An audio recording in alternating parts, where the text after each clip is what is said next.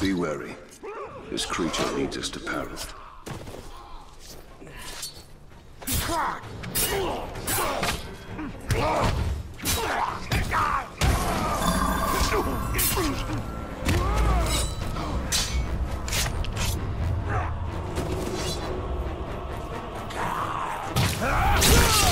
Not even outcasts deserve this fate.